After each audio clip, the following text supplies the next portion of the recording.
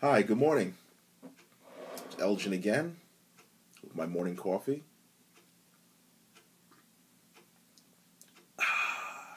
There will be coffee in heaven. Trust me. Trust me on that. uh, just continuing on uh, with my uh, Bible studies. And uh, the last time we were together, I was sharing with you hearing God's voice. And uh, I'd like to continue with that. But first, I'd like to start kind of with an analogy. Okay, let's pretend. Remember that as a kid? Let's pretend that I'm a famous person, like the President of the United States. Let's just pretend that. And I say to you, wow, hey, I've been watching you. You wasn't aware that I was watching you, but I've been kind of watching you and uh, kind of like you. How you doing? You're totally surprised because I'm the President of the United States, and you didn't know that I was watching you. And you've always wanted to have a relationship, a friendship with the President of the United States, and now I'm contacting you. Total surprise to you. And I say, okay, great, I want to have this relationship with you. But um, I'm going to contact you at first uh, by email, and then we're going to move over to, um, you know, phone calls as the relationship progresses. And, uh, you know, from time to time, I'll visit you in person. How does that sound? Wouldn't you sound ridiculous if you said, uh, I'm sorry, um, emails don't work for me and, you know, they're kind of impersonal. And um, as for phone calls, you know, uh, my phone bill, you know, it, it's pretty high now. You're probably going to run it up or you know what if somebody else calls me? I'll have to click off of you. Why don't we just switch to you seeing me in person? And um, i'll give you a schedule and then you can meet me you know whenever i you know call you. Now that's kind of ridiculous because of it, it's ridiculous because of the president's stature in fact any major uh, celebrity or high profile figure, whether political or social, they get to set the agenda for the relationship. And it's purely based on their status. If I'm the President of the United States and I tell you we're going to start with emails, then we're going to progress to phone calls then we're going to uh, go on to us meeting in person. Because of my status, I set the relationship. And if you want to have a relationship, that's what you have to accept. You don't have to accept this. These are my terms. Okay, so if you don't accept it, you know there's not going to be a relationship. Now, what would you do? Some of you might have said, well, I don't need to have a relationship with you. I see girls doing this. I don't need to have a relationship with you if you're not going to do things according to my standards. Well, you can just walk. People do that same thing with God all the time. Oh, they do it all the time.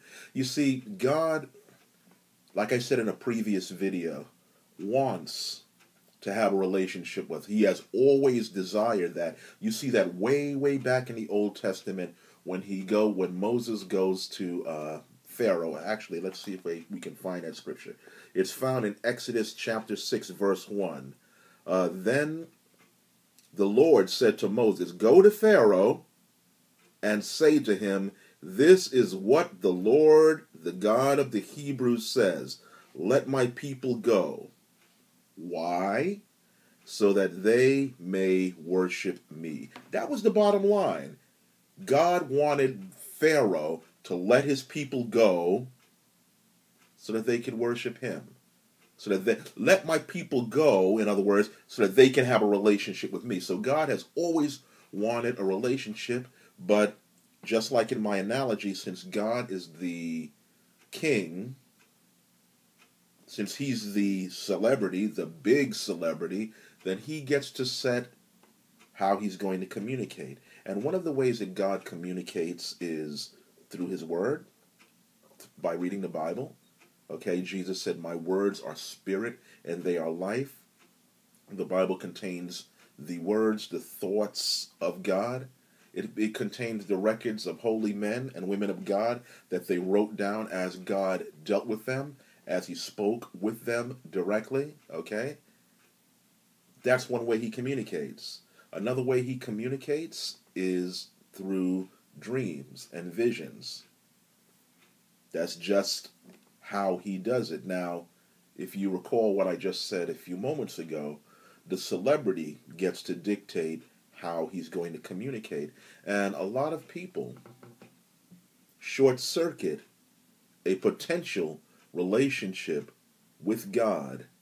They cut off hearing his voice because, well, they don't agree with how he wants to communicate. Well, I don't think the Bible is the real word of God. What about this? What about that? Blah, blah, blah, blah, blah. Well, you know, I don't believe that God communicates with me in dreams, even though the Bible says otherwise that he communicates with us in dreams. I don't like it when God uses symbolic language. You know, you know, he should make it plain. He should, you know, put it across this way. He should speak to me in an audible voice that sounds like James Earl Jones or Morgan Freeman or whoever your favorite celebrity is. That's how God should, cre- you know, communicate with me. Going back to my analogy, if you want to have a relationship with a big celebrity, you don't get to set the terms of how they communicate. And if you do, and a lot of people do, then there will be no communication. So you have to ask yourself Am I the one who is cutting off a relationship before it starts? I'm going to say something that uh, some theologians um, may disagree with. So I'm letting you know this is just me saying this if you are, and I hate to use this term because it it, it sounds kind of antagonistic, but um, I, don't know other, what other term to use. If you are at this point an unbeliever, and by that I mean a person who has not yet decided that you want to have a relationship with God, that you don't want to do the Jesus thing, that you, you know, are skeptical about the Bible. I'm, I'm in order, but but you're kind of curious about having a relationship with God, I'm going to ask you to, when you read the Bible, suspend your belief system for a moment.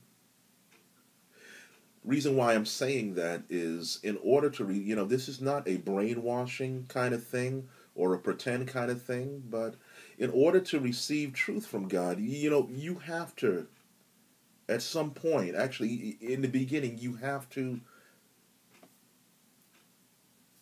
I, I'm groping for words. Accept the possibility that this is true.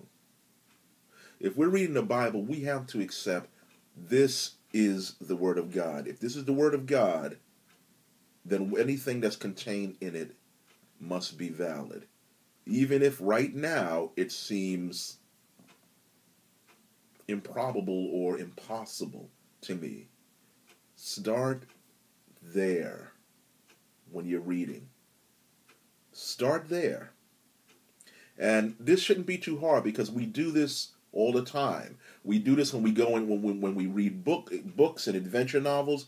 We do this when we're uh, looking at our favorite uh, drama or science fiction show. We suspend our belief system because we know if we don't turn that part of our brains off, we won't enjoy the movie, we won't enjoy the book. We'll be constantly picking the plot apart, saying, This can never happen, this can never happen, I don't agree with this, I don't agree with that, yeah, that's good, this couldn't happen. That kind of stuff is going to short circuit your hearing God. So, add, you know, start rather with the possibility